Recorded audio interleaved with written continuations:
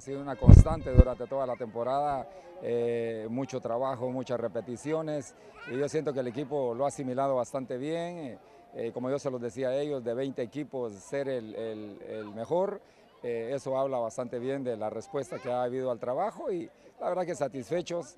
incluso en esta fase, en esta fase finales, solamente recibimos un gol y eso habla bastante bien del equilibrio que, que tiene el equipo en sus líneas. Aparte, se es contundente en la serie ante Chantla, se ganan los dos partidos incluso.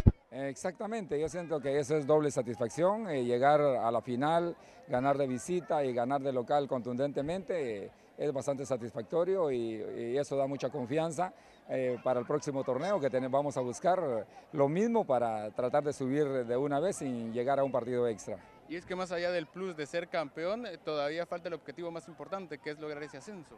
No, por supuesto, ese es el objetivo final. Este, gracias a Dios, cumplimos el primer objetivo. Ahora vamos de nuevo a tratar de buscar el otro objetivo, que es el ascenso, de lo más difícil.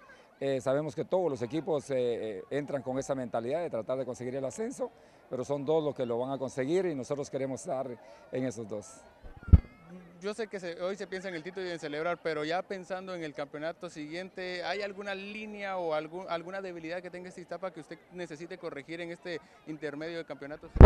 Eh, sí, eh, tal vez no debilidades, pero sí quiero fortalecerlo eh, en, diferentes sectores.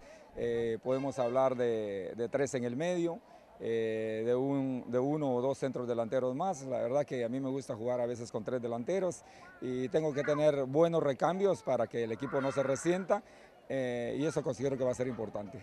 Felicidades. No, muchas gracias. El eh, técnico Francisco Melgar, guatemalteco, que se ha consagrado campeón de Deportivo Iztapa. Continuamos con más información en Antigua Sports.